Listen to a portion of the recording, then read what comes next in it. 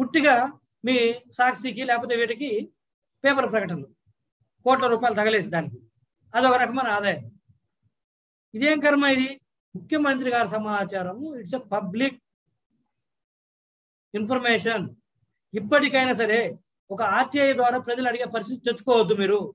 మీకు నిజంగా మీ పర్యటనలో ని- నిజాయితీ ఉంటే మేము నిజంగా పెట్టుబడులు తెచ్చాము. ఆ పర్యటనలో వ్యక్తిగతం ఏమీ లేదు. మేము ఎవరిని అక్కడ కలవలేదు. ఎటువంటి అనఫిషియల్ ప్రోగ్రామ్ చేయలేదు.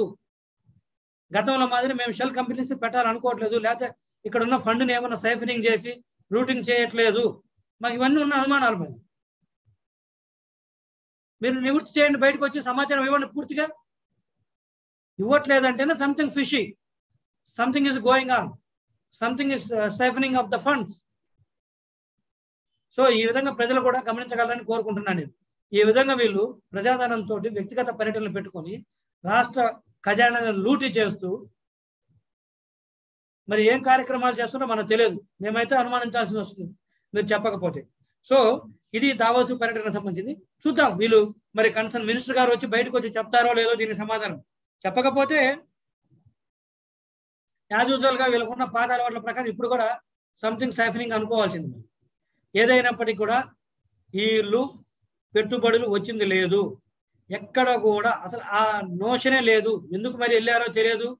దావోసు వ్యక్తిగత పర్యటన కోసం దీన్ని అడ్డం పెట్టుకుని వెళ్ళారా? లేకపోతే తెలియదు కానీ రాష్ట్ర ప్రభుత్వానికి ఆ కన్సర్న్ లేదు. మన ముఖ్యమంత్రి గారికి ఆ కన్సర్న్ లేదు. పెట్టుబడులు తేవాలి.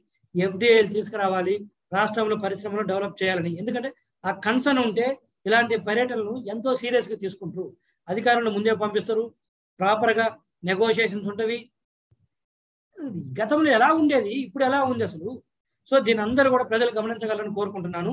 దయచేసి కన్సర్న్ మినిస్టర్ దయచేసి కాదు we are demanding minister concern minister వచ్చి బయటకు వచ్చి దీని మీద వివరాలు తెలియజేయాలని మేము టీడీపీ పార్టీ తరఫున డిమాండ్ చేస్తున్నాము